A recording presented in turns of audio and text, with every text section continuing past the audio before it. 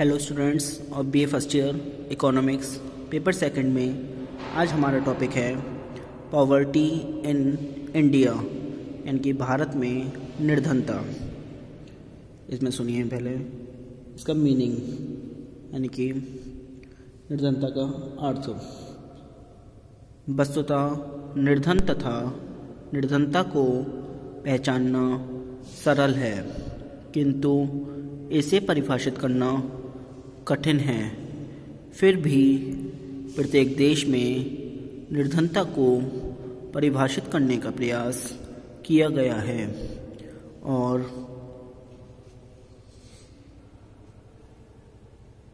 भिन्न भिन्न संस्थाओं व अर्थशास्त्रियों ने निर्धनता को विभिन्न प्रकार से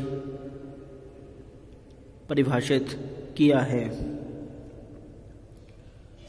मोटे तौर पर निर्धनता से तात्पर्य उस अवस्था से है।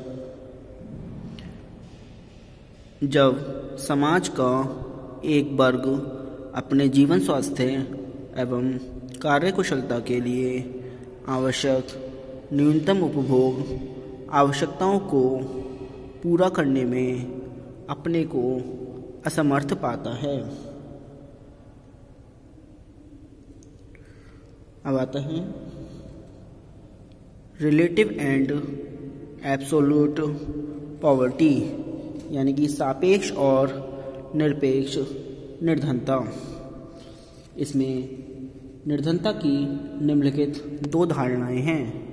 फ़र्स्ट है रिलेटिव पॉवर्टी यानी कि सापेक्ष निर्धनता। इसके बारे में सुनिए। सापेक्षिक निर्धनता से अभिप्राय विभिन्न वर्ग के लोगों में, प्रदेशों या दूसरे देशों की तुलना में पाई जाने वाली निर्धनता से है। जिस देश, राज्य वर्ग का जीवन स्तर दूसरे देश, राज्य वर्ग से नीचे पाया जाता है, वे सापेक्ष रूप से निर्धन माने जाते हैं। दूसरे शब्दों में, सापेक्ष निर्धनता आय में पाई जाने वाली असमानता को प्रकट करती है। भारत में खेतीहर, मजदूर, ग्रामीण, दस्तकार, अनुसूचित जाति एवं जनजातियों के लोग, घरेलू नौकर, दैनिक मजदूरी करने वाले श्रमिक आदि निर्धन लोगों की श्रेणी में आते हैं। संयुक्त राष्ट्र संघ के अनुसार वे राष्ट्र सापेक्ष रूप से गरीब माने जाते हैं, जिनकी प्रति व्यक्ति प्रतिदिन की आय एक डॉलर से कम है। इस दृष्टिकोण से भारत, अमेरिका, जापान, जर्मनी, चीन आदि देशों की तुलना में निर्धन है।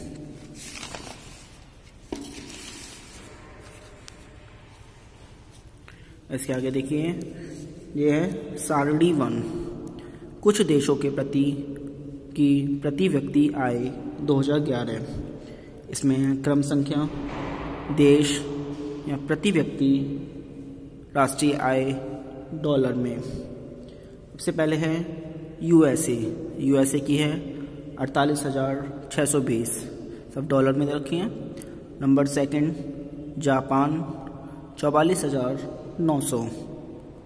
थर्ड है यूके सैंतीस हज़ार सात सौ अस्सी। फोर्थ है, चीन, चार हज़ार नौ सौ चालीस। फिफ्थ है, श्रीलंका, दो हज़ार पाँच सौ अस्सी। सिक्स है, भारत, एक हज़ार चार सौ बीस। सेवेंथ है, पाकिस्तान, ग्यारह सौ बीस। अब सुनिए इसमें। सोर्स अब आता है। सोर्स वर्ल्ड डेवलपमेंट रिपोर्ट 2013 इसमें सुनिए। इन समंकों से हम सुरक्षित ढंग से यह भी निष्कर्ष निकाल सकते हैं कि भारत जैसे देशों की प्रति व्यक्ति आय अमेरिका जैसे देशों की तुलना में काफ़ी कम है।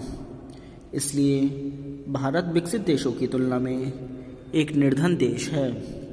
इसलिए इसे एक अल्पविकसित देश स्वीकार किया जाता है।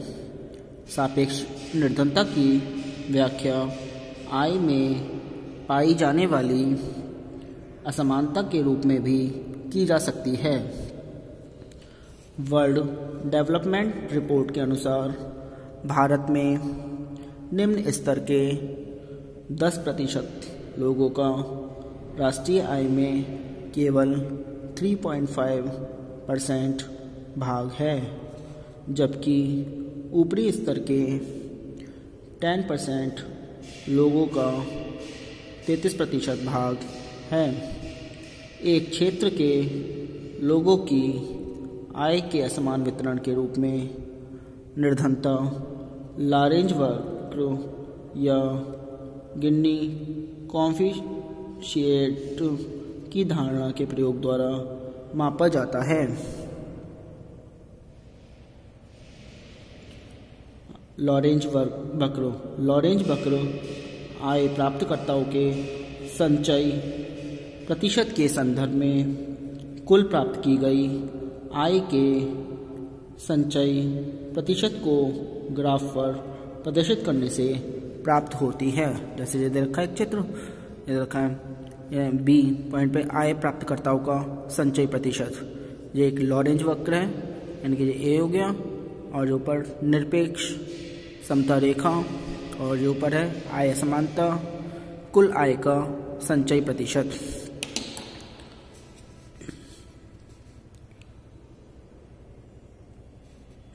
ग्राफ पर प्रदर्शित करते समय सबसे कम आय प्राप्तकर्ता से शुरू करते हैं। यदि सभी आय प्राप्तकर्ता का आय में हिस्सा बराबर रहे, अर्थात 30 प्रतिशत लोगों के पास 30 प्रतिशत आय का हिस्सा हो 20 प्रतिशत लोगों के पास 20 प्रतिशत हिस्सा हो तो हमें एक विशिष्ट प्रकार की लॉरेंज वक्र प्राप्त होगी। इसे हम निरपेक्ष समता रेखा इक्विटी लाइन कह सकते हैं। यह एक मानक या काल्पनिक रेखा होगी। वास्तविक आंकड़ों पर आधारित लॉरेंज वक्र इस समता रेखा से जितनी ही दूर होगा, विषमता उतनी ही अधिक होगी, जैसा कि इस चित्र में प्रदर्शित किया गया था। नंबर सेकंड आता है। एब्सोल्यूट पॉवर्टी यानी कि निरपेक्ष निर्धनता। निरपेक्ष निर्धनता से अभिप्राय, किसी देश की आर्थिक अवस्था को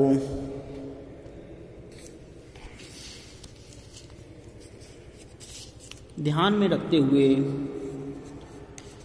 निर्धनता की माप से है। अधिकतर देशों में प्रति व्यक्ति उपयोग की जाने वाली कैलोरी तथा न्यूनतम उपभोग स्तर द्वारा निर्धनता को मापने का प्रयत्न किया गया है।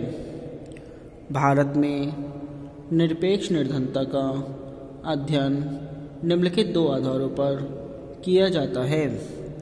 नंबर वन है कैलोरी क्रिटेरिया यानी कि कैलोरी मापदंड। एक व्यक्ति एक दिन में जितना भोजन प्राप्त करता है, उससे प्राप्त शक्ति एनर्जी की कैलोरी द्वारा मापा जाता है। नंबर दो, मिनिमम कंज्यूमशन एक्सपेंडिचर क्रिटेरिया न्यूनतम उपभोग व्यय मापदंड। योजना आयोग द्वारा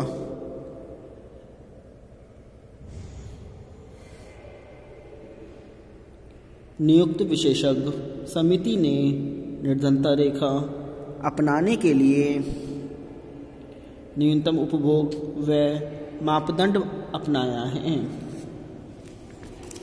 आगे देखिए। अब आता है। सारणी टू।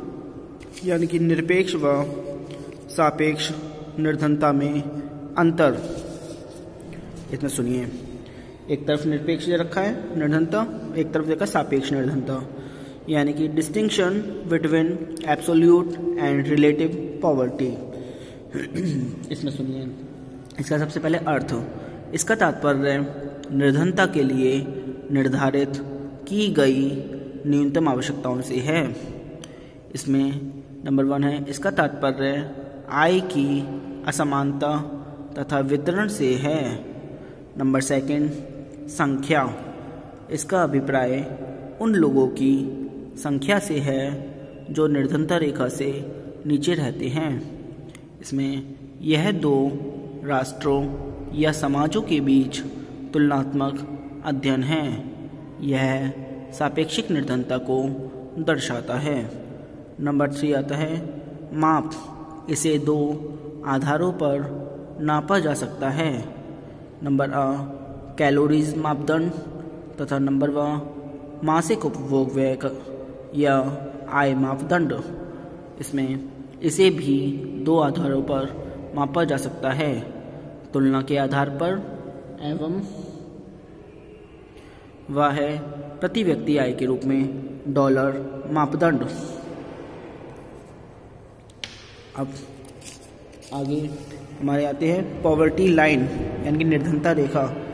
निर्धनता रेखा, वितरण रेखा पर कटाव बिंदु है, जो जनसंख्या को निर्धनों तथा गैर निर्धनों में विभाजित करती हैं। इस रेखा के नीचे जीवन यापन करने वाले लोगों को निर्धन माना जाता है और रेखा के ऊपर के लोगों को गैर निर्धन नॉन पुअर माना जाता है। मान लो दस व्यक्ति हैं, जिनकी वार्षिक आय पाँच सौ रुपये एक हज़ार रुपये दो हज़ार रुपये चार हज़ार, पाँच हज़ार, सात हज़ार, आठ हज़ार, नौ हज़ार और दस हज़ार तथा बारह हज़ार हैं तथा निर्धनता रेखा पाँच हज़ार रुपये है। इससे स्पष्ट इस है कि पाँच व्यक्ति निर्धनता रेखा के नीचे है। दूसरे शब्दों में, पचास प्रतिशत लोग निर्धनता रेखा से नीचे हैं। आज के लिए इतना ही। Thank you very much